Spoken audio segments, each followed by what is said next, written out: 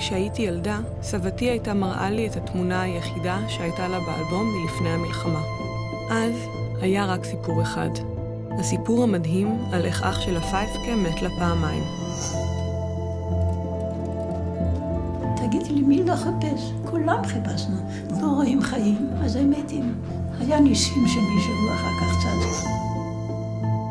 Das heißt doch der Peter Schwarz damals, der war hier. Von irgendwo her, ihr kommt von irgendwo. Das haben wir gewusst, ja.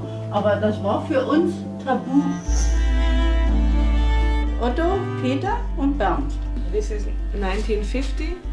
1944 they were enemies. אחרי שהרגו את המשפחה שלו, איך הוא היה מסוגל לסלוח ולהישאר שם?